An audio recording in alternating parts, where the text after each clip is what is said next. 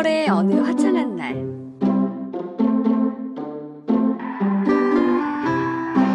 화성 오토시티에 The Reviewer 예선 참가자들이 모였습니다.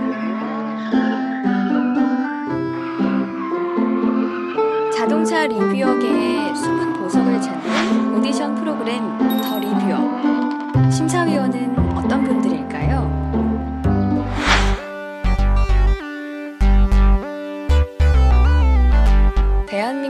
최고의 reviewer 모트라인 노 사장.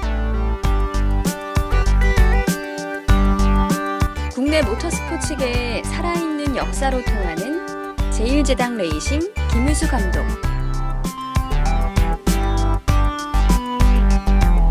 국내 top 드라이버 팀 코리아 익스프레스 황진우 감독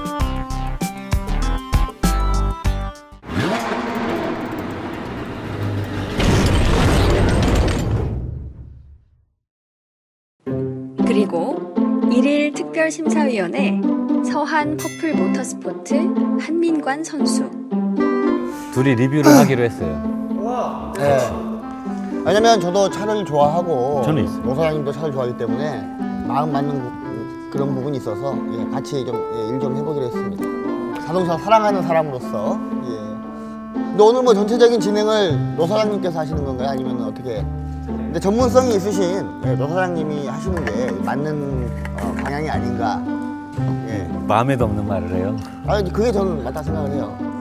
선배님 왜 어디 가셨어요? 아 오늘 이제 한 분 더 오시기로 했는데 그분이 좀 몸이 약해요. 예. 그분도 저처럼 말랐는데 몸이 안 좋아서 지금 거의 다 오셨을 거라고 생각이 됩니다. 더 리뷰어 첫 번째 참가자 긴장된 표정으로 입장을 기다리고 있습니다.